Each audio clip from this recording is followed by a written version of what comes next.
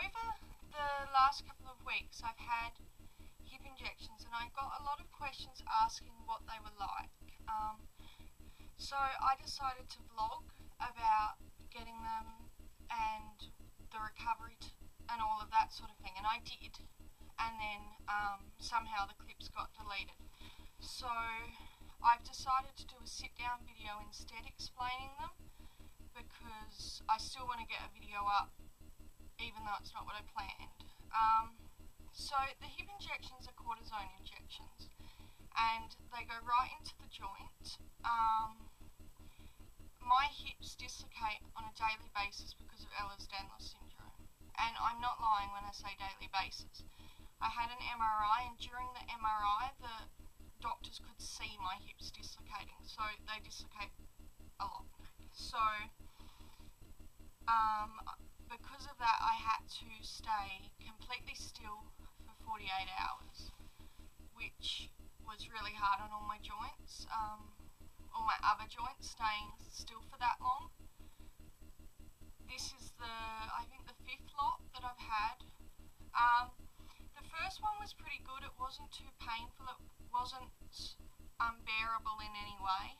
Um, and the second one was a little bit worse, but still nothing, nothing crazy.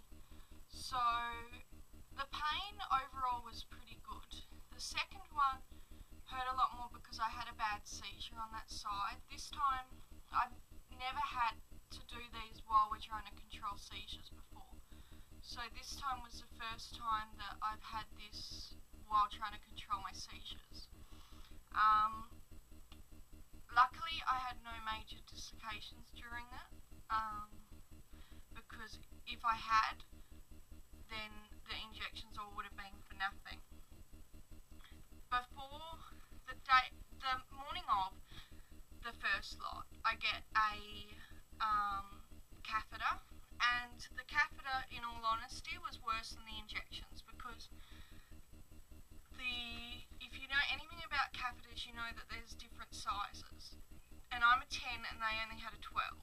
So I got a 12 and it hurt. But um, it was manageable and I also got an infection and that's just one thing that just can't be helped.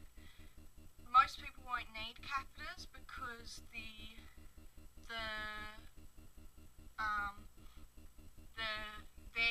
don't dislocate so much that they can't move at all. But for me, they do.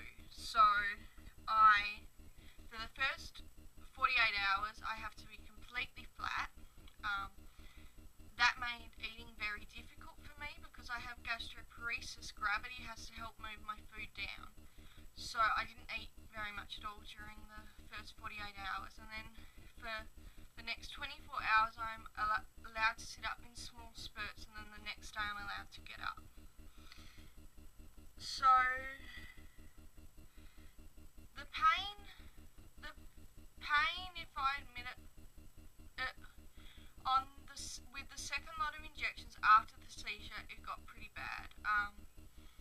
was taking Panadol for an oxy.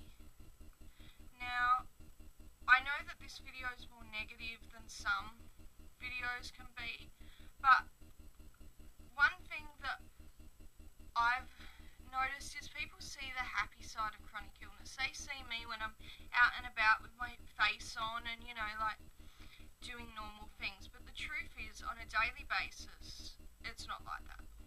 And that's part of why I started this channel.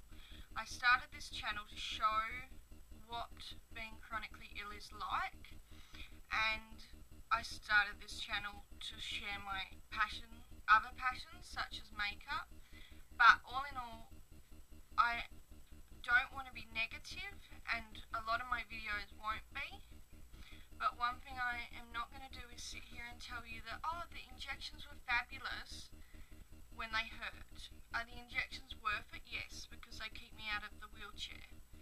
But did they not hurt? No, that that would be a lie. So you've just got to toss up, is it worth it? Are the injections going to keep me mobile and in less pain for a little while longer? And if the answer is yes, I would go ahead with them. If you have any questions, please feel free to message me. Um, you can either message me on YouTube or on in the links down below. Thank you so much for watching.